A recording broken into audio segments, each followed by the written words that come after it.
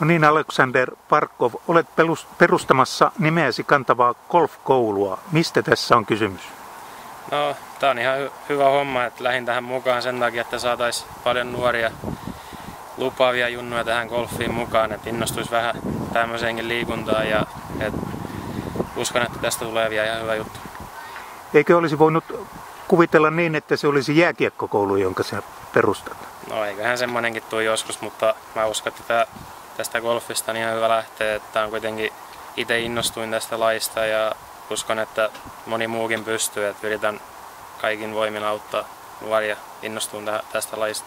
No minkä tasoinen golfari on? Kauanko olet pelannut?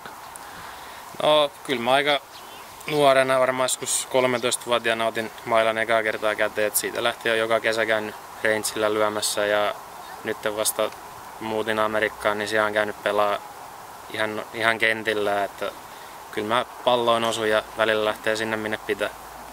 No teillä on siellä Floridassa ihan lähipiirissä paljon hyviä kenttiä. Joo, se on aika monta kenttää, että ihan sama mihin suuntaan lähtee, niin siinä on heti kenttä jossain ja kaikki kentät on tosi hyvässä kunnossa ja tosi hienoja, että ihan sama missä siellä pelaa, niin pystyy nauttimaan sitä hommasta ja säätkin on aika hyviä, niin se on vähän niin kuin golfarin paratiisi. No miten sitten tuo päätyö, eli jääkiekko, millä mielellä lähdet ensi kauteen?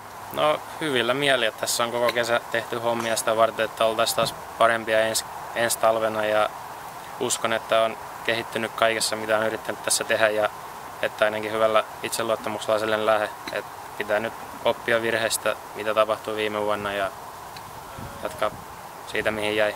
Ja olet saanut harjoitella terveenä? Joo, ei ollut mitään ongelmia, että on niin kuin joka päivä pystynyt tekemään täysiä hommia. Kiitoksia Alexander Parkov ja, ja menestystä sinne NHL ja tämähän on todella hieno tämä golfkouluidea. Joo, kiitos paljon.